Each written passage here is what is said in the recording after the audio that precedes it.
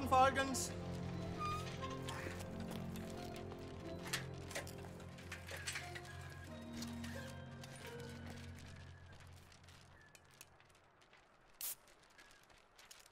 Skål! Godmorgen, Toulouse.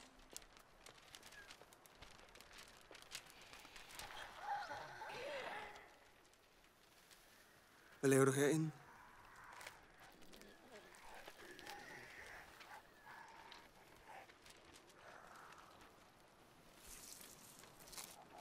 Har du fået øje på noget?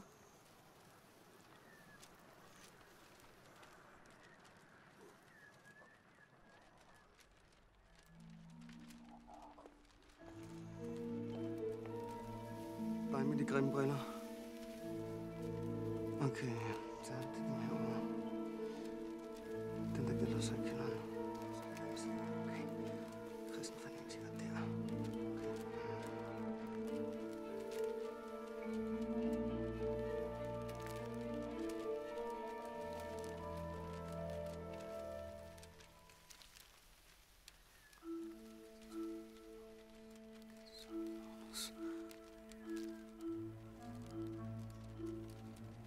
Hvor er du? Toulouse? Der er en fyr her, der lidt efter sin kæreste. Jeg bliver ikke sur, hvis du har taget det, så skal du bare sige det nu.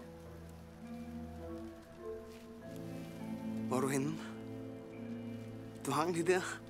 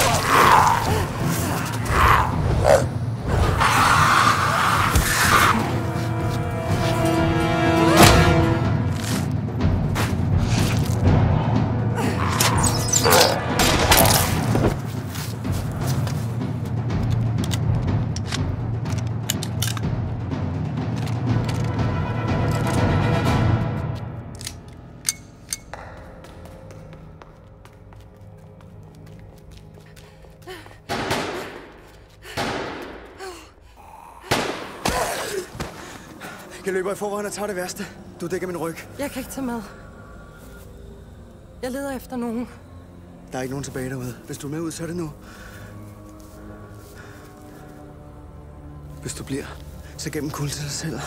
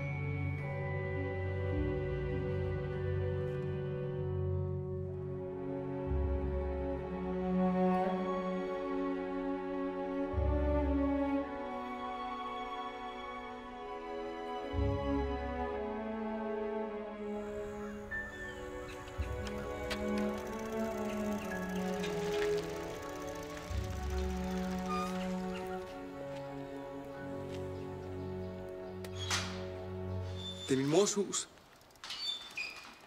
Vi har mad og vand. Og gas på komfuret.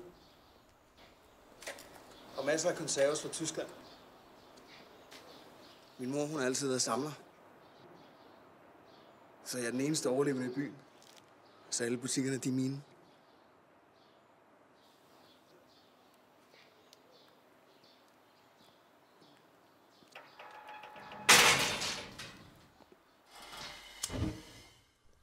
Det gik okay i starten. Vi levede af morslager nede for kælderen. Og så når der kom nogen forbi, altså af de levende, så lød vi bare som om vi ikke var her. Man kan efterhånden heller ikke stole på de levende længere. Det bliver meget værre. Ja, præcis. Hvad skete der? Det var i vinters. Det havde lige sned. Der stank flere måneders gamle dåsemad, så jeg åbnede vinduet. Det var frostvejr. Man lavede en engel i sneen.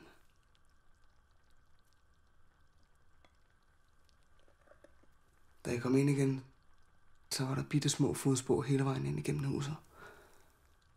Og da jeg kom op til min mors overværelse, så stod der en lille pige og ventede på mig. Hun havde helt døde øjne og blod rundt om munden.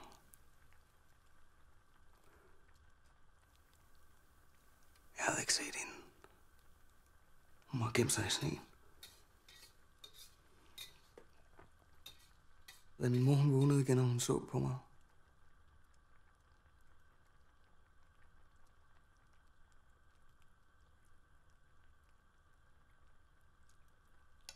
Du ved, hvordan det er.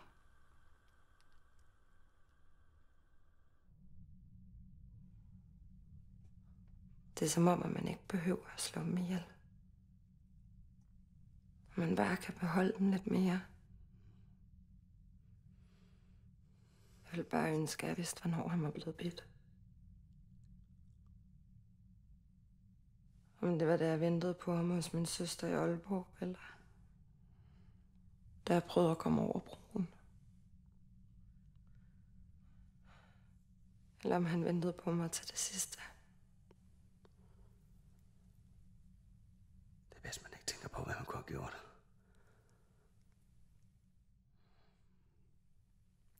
Det var ham eller dig.